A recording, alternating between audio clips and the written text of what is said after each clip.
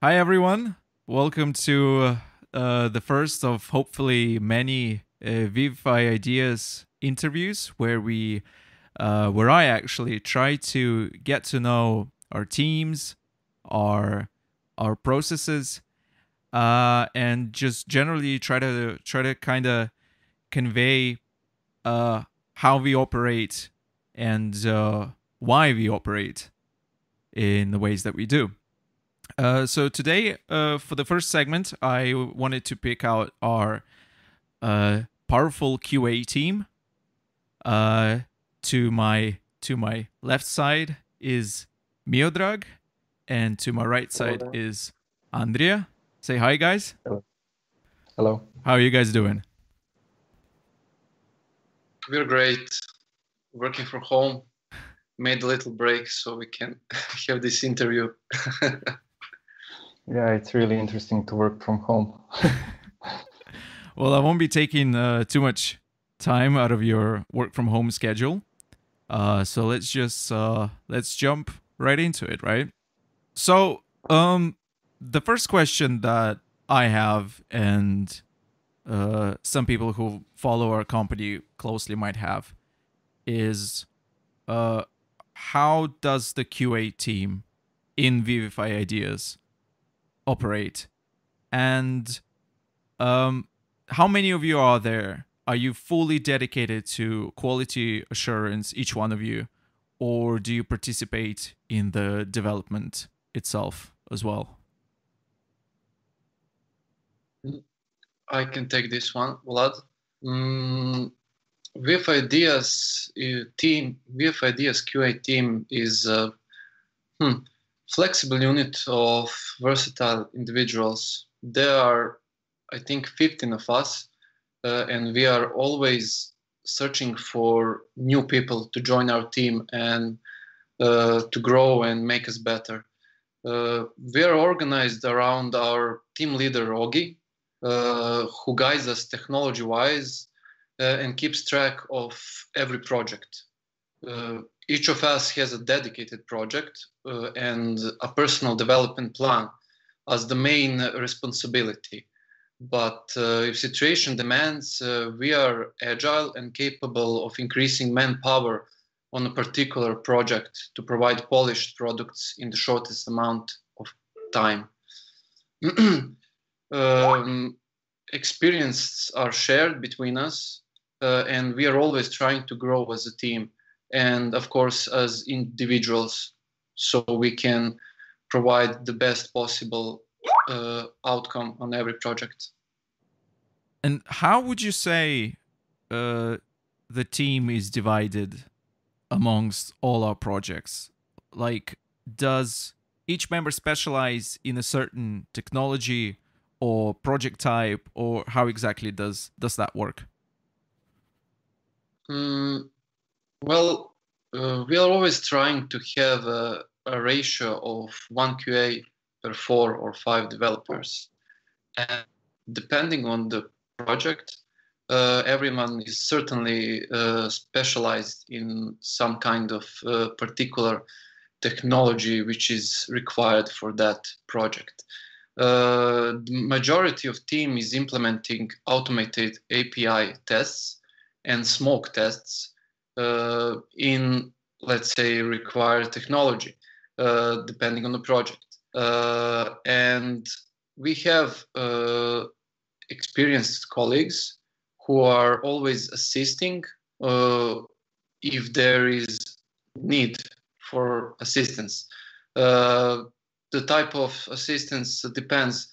Uh, sometimes uh, they are assisting in form of technical guidance, review, uh, and implementation, even in some cases.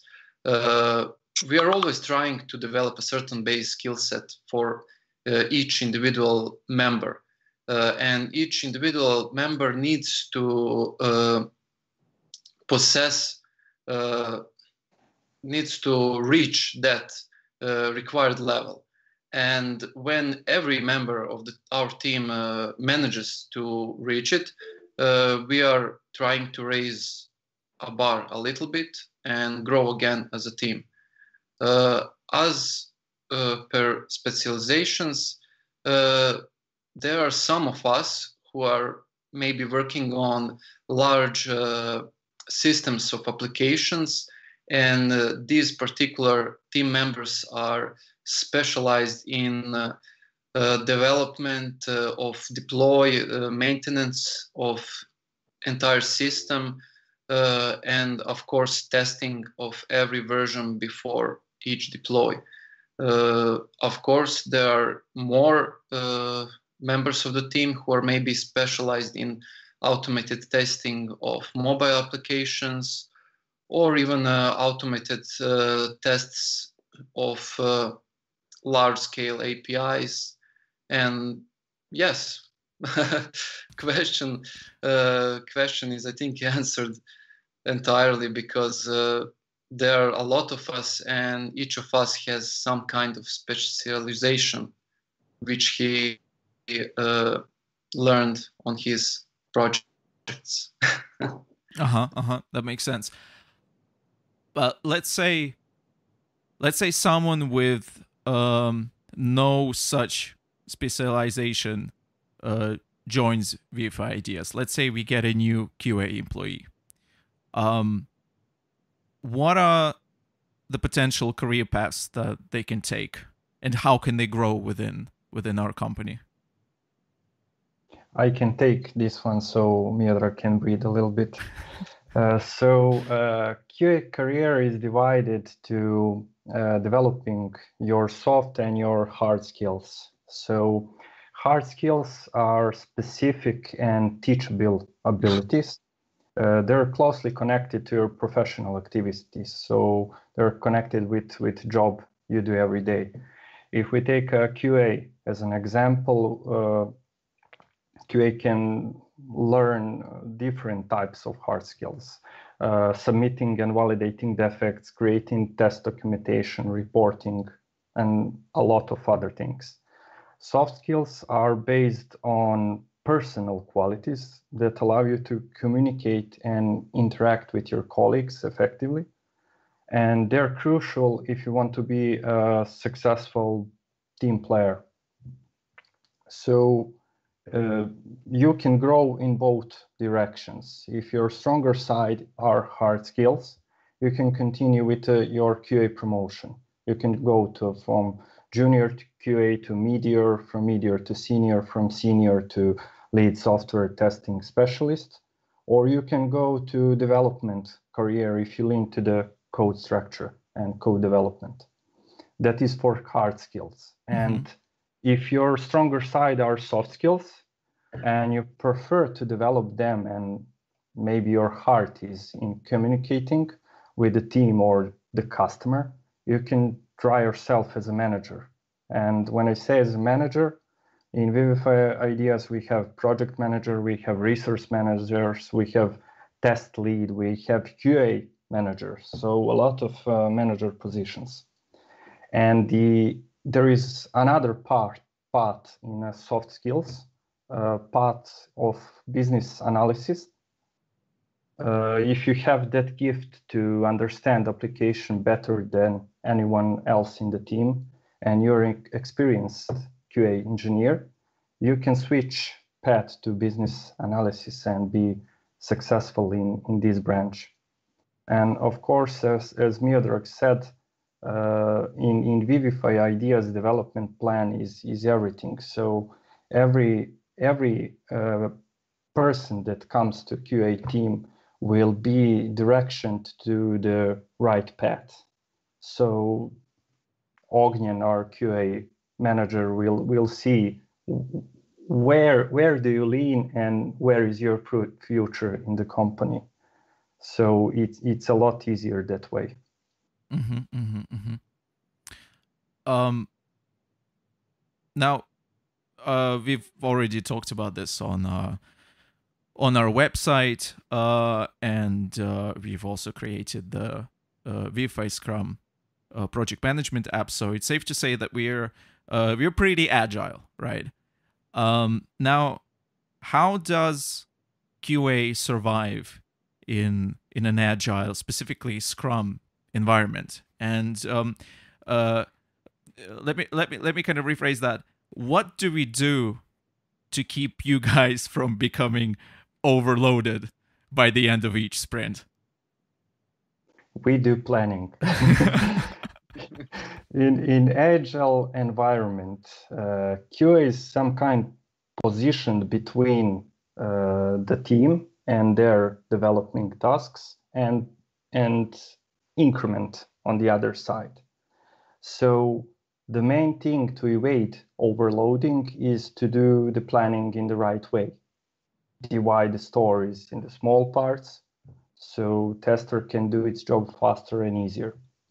And if we do planning wrong and make big chunks and big stories and big tasks, they will be finished too late and uh, tester will be under the pressure at the end of the sprint and maybe he will uh, approve something that he shouldn't be approving and that should never be done. So one again once again planning in agile environment is everything and planning needs to be done in, in correct way. Small chunks small tasks and and uh, to be able to know what is the potential what can be done in one sprint and no one will feel the pressure. Yeah yeah yeah. And uh, uh, when we talk about the acceptance criteria for example uh, how big of a role does qa play in the initial uh, determination of what's important in a in a certain project are you how how included are you in that in that process uh, well, Vlad, I could answer this one. Uh, certainly, the role is big. Role is big, and capability to determine what's important and what's not, even before a single line of code is uh, written, it separates uh, great QAs from the average ones. Absolutely. Yeah, uh, you need to be especially uh, versatile and quick-minded uh, to understand the newly introduced uh, business logic and uh, make immediate value. so that's that's the biggest quality of QA which uh, he gets with experience, and that's something which uh, we try to uh, nurture in our team. and we value our experienced members a lot because of that capability. Uh, well, that's that's uh, also extremely important for our clients because uh, if QA can uh, provide immediate value, uh, that will, of course, uh, reduce the development time and products are shipped better and faster. Well, speaking of delivering value to clients and having good products, right? Um, QA obviously requires that you have a full grasp of the industry your project is targeting, right? And um, and essentially you need to know what functionalities are essential for that target market. And how does one prepare for that? And what kind of research goes into um, familiarizing yourself with these, uh, let's say, new or previously un- untackled uh, projects? Mm, I can take this one. I can follow up. Uh, the the main information provider for QA should be a project manager. Mm-hmm. His job is to contact with the customer uh, by daily basis and understand uh, its needs of, of project and project targeting. Uh, before any planning is done uh, on the project, there should be a meeting with project manager present where he present the team, the project, the functionalities, and everything around the, the project, the, the target group. But anyhow, nothing stops from nothing stops you from from do research by yourself to explore other products on the web and create a picture where where is your project positioned and what are the main functionalities needed for project to work correctly yeah, yeah, yeah. Um, I've got a, I've got a really a quick one, a bit of a joke that I prepared. You're stranded on an island. You can only choose one. Scripted or exploratory testing. Go. so let, let me uh, tell to everyone what is scripted and what ex exploratory testing first. Scripted testing is uh, follows a path that is written by a tester themselves or, or someone else. Uh, the script includes test cases, test steps, and everything is documented. Documented. Uh, there can be no deviation from the path, from the script, and tester jobs is is like follow the path. And exploratory testing, on the other hand, rely on the tester uh, to develop the, the testing path on the go. It's not exactly testing free for all, but it allows the tester to go where an end user might might rather go than a script. So of course both methodologies have their shortcomings and scripted testing can simply lead the tester to desired desired result. And on the other other hand if you go free roam and, and develop your own plan it's maybe it can lead you to the wrong direction. But for for me as a person if i need to choose only one uh, i would say that i'm exploratory oriented i like to to start a project from scratch and make my own plans explore the entire project the entire application find the weak points find the places where bug can be born in the future.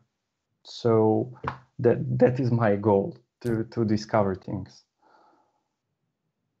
Mm. and i would i would always pick exploratory. Miodrag, what about you? Well i would say both. I would say both because uh, you certainly need uh, to have uh, uh you need to have at least uh, uh, the major part of your the most important part of your application. You need to have covered with some scripted testing because some part of uh, application will uh, not be changed. uh, will not be changed a lot and it has to work as it is. Uh, and you need always tests which will always pass especially in the big projects uh, which are in production. And of course exploratory you need to explore to find some let's say mysterious bugs some kind of uh, mysterious uh, uh, situations which uh, can't be scripted. And you need to cover those things as well and yeah i think a good tester or let's better say great tester team uh, will cover both of those Uh, approaches to the testing itself. Yeah, yeah, and uh, I'm certain that we or you as a QA team, you cover all of these all of these levels of testing.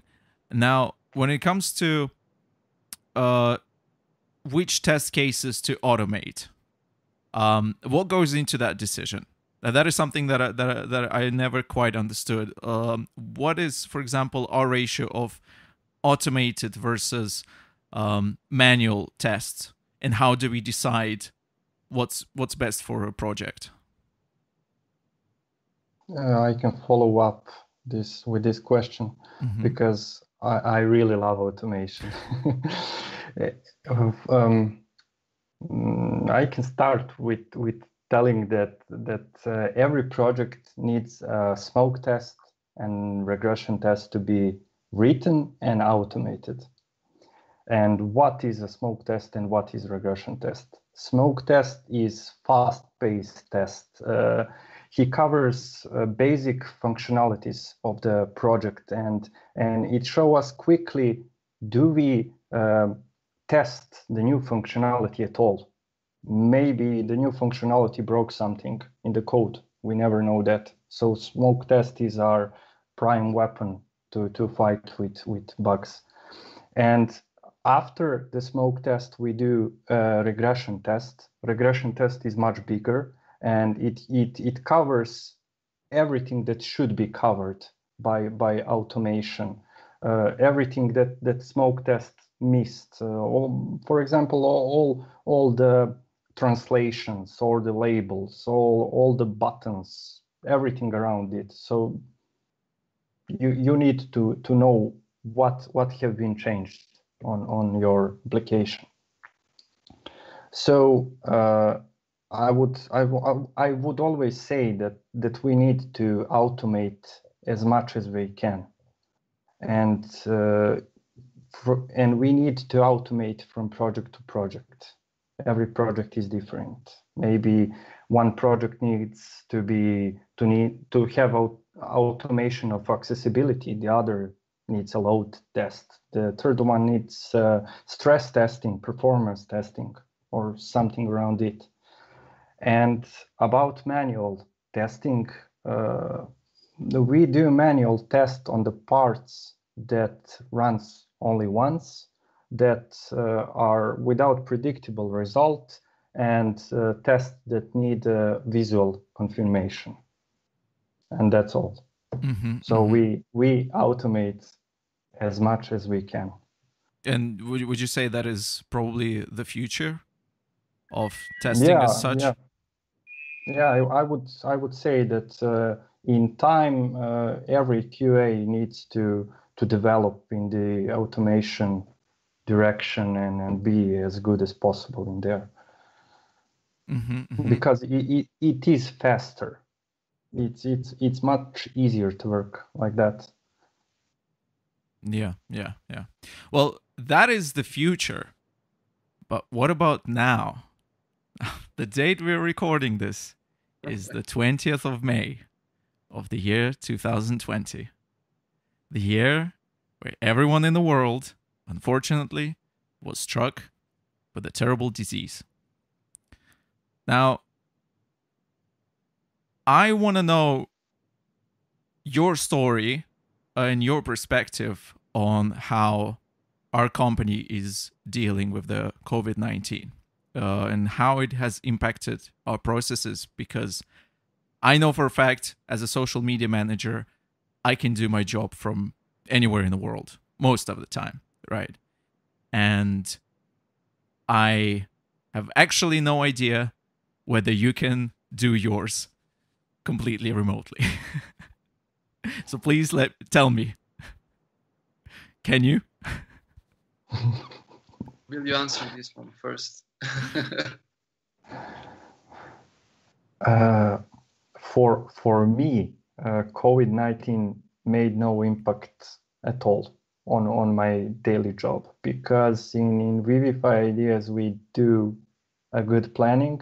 We have remote days and we nurture remote days and we are we are a well trained group of people to to work outside of, the office i mm-hmm. would say like that yeah I, I, have to completely agree there was no impact on our testing process uh, from the very beginning of uh, each uh, team member's employment uh, Vivify Ideas uh, uh, offers optional remote to all all of us, and uh, there I think uh, 100 days every year, yeah. which can uh, we yeah uh, every QA can work 100. Not not only QA, every uh, developer QA or every employee can every employee can work uh, for 100 days from remote remotely and uh, we are well used to it, I'd say. Uh, so there was absolutely no impact on our testing process nor development process. I would say everything is smooth as it was. so well, apart apart from our daily lives, out of the job. um. Well. Uh. Yeah. I mean I I can't wait to get to get back into into the office um, and hang out with you guys physically. But I appreciate that you've um, taken the time and kind of got on the call with me and answered answered these questions. Uh, I honestly, I I think I think uh, people will find them interesting. It's interesting to hear a perspective, and um, thank you, thank you, Miodrag, thank you, uh, Andrija, for being here, and um, Thank you. I think there will be quite a few more um, interviews with uh, different um, different departments that we'll cover in the future. So if you stuck around till till the end, uh, follow us on all our social media channels, and uh, there will be more. Uh, so that's it. Thank you. Bye. Bye.